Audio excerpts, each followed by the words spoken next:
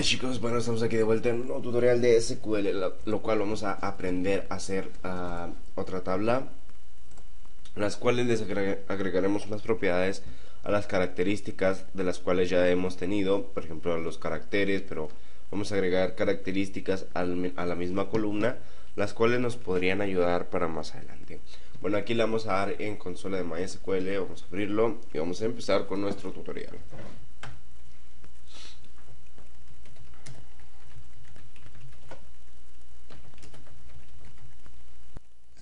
Aquí vamos a usar nuestra base de datos que sería prueba 3, lo cual me he equivocado al principio que puse primera 3. Bueno, prueba 3, database changed. Y hemos seleccionado la base de datos que vamos a utilizar para este nuevo tutorial. Bueno, aquí vamos a comenzar. Eh, vamos a hacer lo siguiente, vamos a crear una tabla la cual vamos a tener con las columnas con propiedades las cuales no puedes introducir datos en que no sean nulos por ejemplo no puedes dejar un campo vacío sino el sistema te lo va a rechazar. Tienes que llenar absolutamente todos los campos para que se pueda llenar la columna. Bueno, lo siguiente es hacer todas las columnas de eh, nuestra nueva tabla. Lo que sería primero el nombre de cliente, que es una... En la tabla se va, a enfocar a un agente de ventas. La, la primera columna va a ser nombre, nombre, nombre de cliente con caracteres, un espacio de 30, no null, que quiere decir que no va a estar vacío. Después vamos a ir haciendo las siguientes.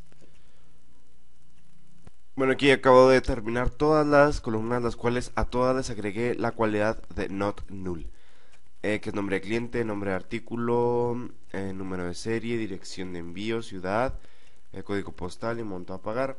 Ahora eh, aquí explico que me he equivocado en algunas cosas, por eso todo esto de arriba que dice error en línea, en línea 1 y etcétera, etcétera. Aquí el error es que tenía mal un dato. Pero ya está todo bien. Este es el código que debe de ser. Ahora ponemos show tables para ver qué tablas tenemos y que ver que se han creado correctamente.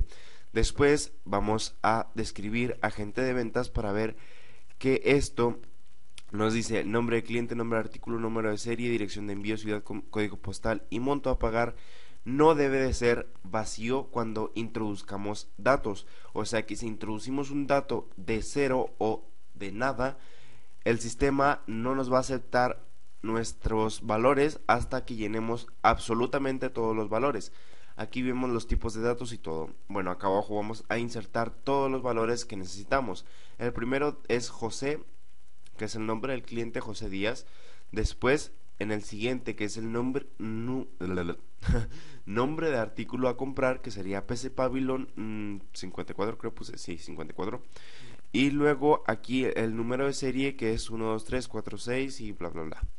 1, 2, 3, 4, 6 y 47.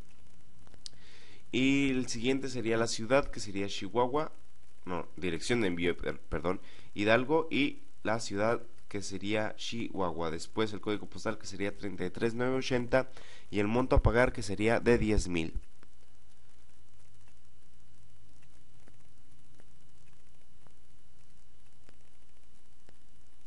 Y 10.000. Ahorita ven que lo corrijo. Espérenme, ahí está. Eh, bueno, aquí ya hemos terminado, damos enter y para especificar aquí que pueden dar enter sin que estén cerradas las comillas es correcto, pero al último tienen que poner un punto y coma para que se haga el proceso. Después voy a hacer la referencia a agenda, el cual es la tabla anterior que hemos hecho, la cual por nombre tenemos José, apellido Díaz, dirección Hidalgo, teléfono 54 5468 Ciudad Chihuahua y código postal 33980. Después hago la referencia a la consulta para todas las columnas. Todas las columnas es el asterisco from de agente de ventas, los cuales vamos a cerrar con punto y coma y después vamos a ver que aquí se nos ha distorsionado un poco todo esto, pero el nombre del cliente, José Díaz, nombre de artículo, Pavilion 64 y todo, todo, todo, todo, todo eso, pero se acomoda de una manera diferente porque la pantalla, la pantalla no alcanza para más. Bueno, eso sería todo. Me alegra que veas mis videos. Sonríe.